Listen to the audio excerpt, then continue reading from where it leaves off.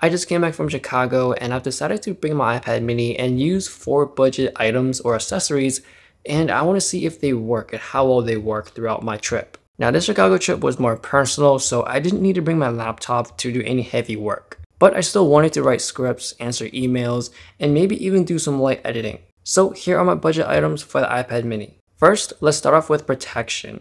There are plenty of third-party cases out there, but the one I have here is from MoKo. Now this case is kind of close to Apple's smart case, where you do have that trifold design, so I can fold it, I can put it at a place where I can just watch things, or just lay it flat to do some typing. When I open up the cover, it does have auto wake, just like the official Apple case. And a lot of cases nowadays, even third-party ones, do this. Now the official Apple case for the iPad mini cost about $60, which is really expensive, versus the one from MoKo, which is about $10. And I think this cheaper iPad case offers more protection than an official one. I know for a fact with the Apple case, if I do drop it, I know the sides are going to be scuffed because there are no protection around the corners. And the case might pop out because it's only held by magnets. Now besides the corners being protected by this MoKo case, you do have this space to connect your Apple Pencil. So in general, you can get a really budget-friendly case.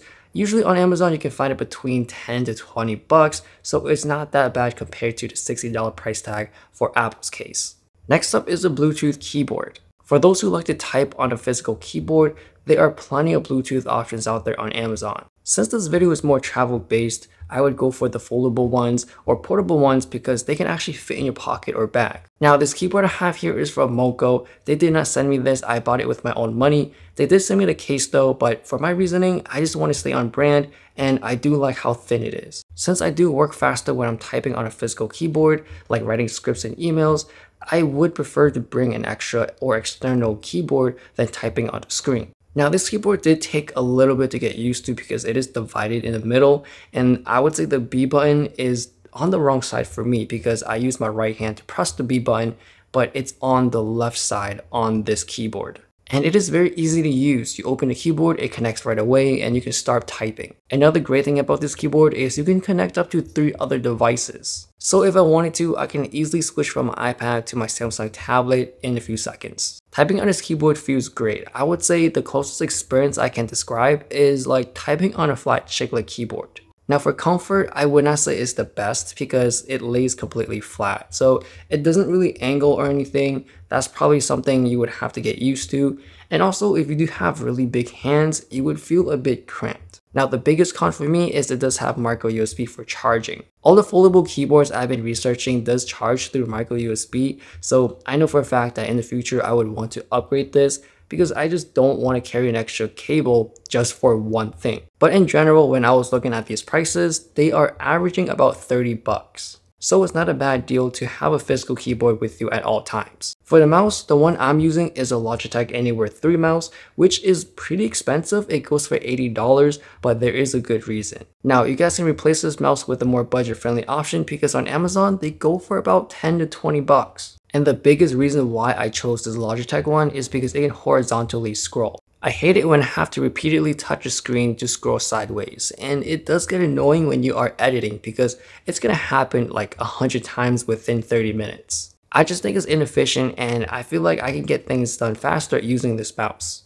Now there is one more pro about this mouse is it can connect up to two other devices. So right now I have it connected to my iPad, my laptop, and my Samsung tablet. So with the click of a button, I can switch to another device right away without needing to reconnect or anything. So that is useful when you have multiple devices with you. The last item I have here is the pen. Lately, I've been writing a lot of things down and I've been enjoying it more often, but I did not want to pay $130 to get the Apple Pencil. And the budget pencil I have here is the Uogic U Pencil 3 Plus. And the price for this is only $17 on Amazon. It can magnetically attach just like Apple's one, it can charge through USB-C, and it does feel pretty solid. It also have palm rejection and on the button on top, you can turn it off and on, but it does have more commands. If you tap it once, it can go back to home. If you tap it twice, you can go back to the multitasking screen. It does automatically shut down after one hour, but from my experience, I never write that long anyways. Another little thing I like about this pencil is I can actually see the battery life on the iPad. Okay, let's talk about the cons. The first one here is it does not have the double tap feature where you can switch to another tip or the eraser.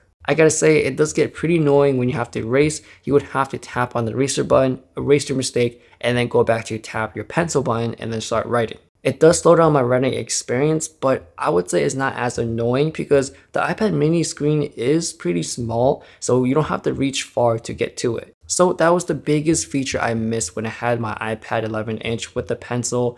I really would want that, and honestly, if I am taking more seriously with the note taking, I would actually pay $130 for it. The second con about this pencil is it's not pressure sensitive, so the lines will not get thicker as you press harder on the screen. Since I mainly take notes, I don't really care about that feature so I don't need it. If you are an artist or if you like to draw, I wouldn't really suggest using this pencil, but for $17, it's kind of hard to beat. Personally, I would still buy it, get that pencil experience, and once you get serious with your drawing and writing, then go for the official one. So those are the four budget accessories for the iPad mini 6. Well, besides the mouse, because I'm willing to pay for something that makes my life easier.